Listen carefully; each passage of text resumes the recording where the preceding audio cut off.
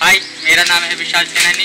आज हम आपको कोरोना वायरस के बारे में बताएँगे पहले जो वीडियो था हमने, उसमें भी बताया। आज और कुछ ज़्यादा बताने की हमने ठानी है। तो आज भैया आपको सब कुछ कोरोना वायरस की जो है, उसके बारे में आपको बताएँगे भैया हेलो दोस्तों, जैसा कि कल आप लोगों ने देखा कि अपने पूरे भारत वासियों ने एक साथ एकजुट होकर के अपने पीएमजी के अपील का एक साथ समर्थन किया।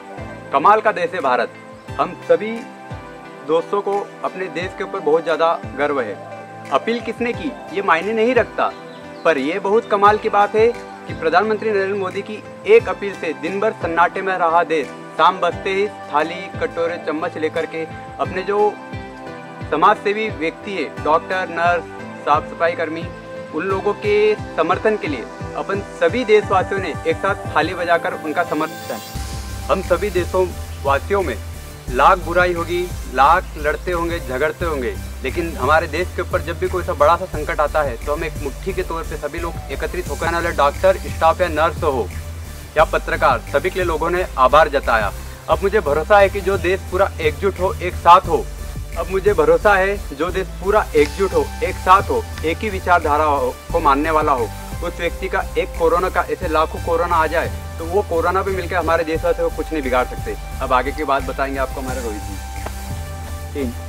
जैसे दोस्तों, आप देख रहे हो कोरोना वायरस पूरे विश्व में वैश्विक महामारी का रूप धारण कर चुका है। इसे निपटना हमें बहुत ज़रूरी है। इसके विभिन्न स्टेज पाई जाती है, जो निम्न है। पहली स्टेज में वह वह संक्रमित होते हैं व्यक्ति जो विदेश से आए होते हैं और दूसरे में वो व्यक्ति संक्रमित होते जो उनके परिवार के लोग होते हैं। और जब तीसरी स्टेज होती है, वह सबसे खतरनाक स्टेज होती है। उस स्टेज में वह एक दूसरे से खेलते जाते हैं और वही स्टेज को हमें कंट्रोल करना है। इसलिए हमें ज़्यादा से ज़्यादा घर में रहना चाहिए और आधे घंटे के अंदर सैनिटाइजर से हाथ धोते रहना चाहिए ताकि महामारी फैले नहीं।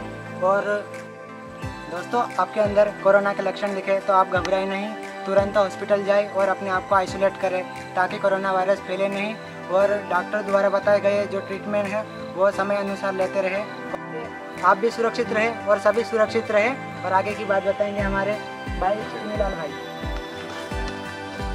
नमस्कार दोस्तों, मेरा नाम चुनीलाल चौहान है और मैं आपको कोरोना के बारे में, सावधानी के बारे में बताना चाहूँगा। दोस्तों, जितना ज़्यादा हो सके, जिस प्रकार हमने कल जो चेन बन रही है कोरोना की तो उसको तोड़ने के लिए अपने सबने एकजुट होकर मिलकर प्रयास किया। उसी प्रकार आगे भी हमको प्रयास करना है और ऐसे एकता बनाए रखना है।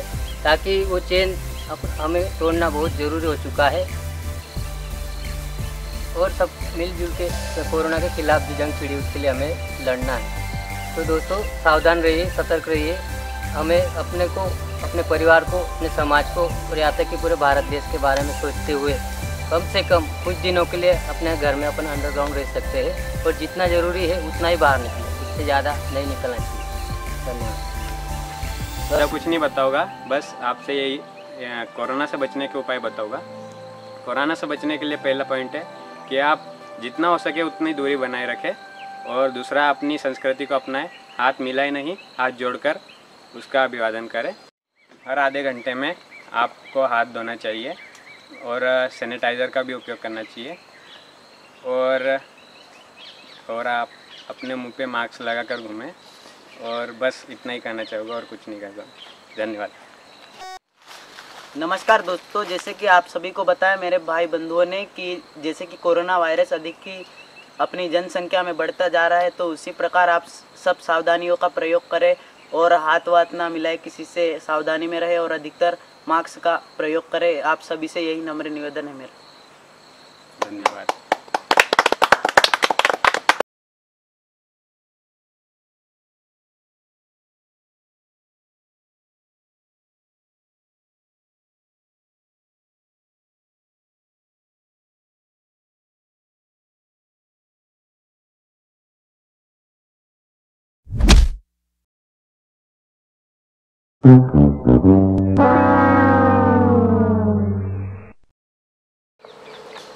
देखिए इस तरह विदेश से होती हुई जो बीमारी अपने इंडिया में आई और इंडिया वालों की जो चेन हमने बनाए रखी है ताकि वो चेन तोड़ सके उस हेतु हमने भारतवासियों ने एकजुटता दिखाई और दो कदम हम उस चेन को तोड़ते हुए पीछे हट गए और आज हम भारत सुरक्षित है और विदेशों के हाल।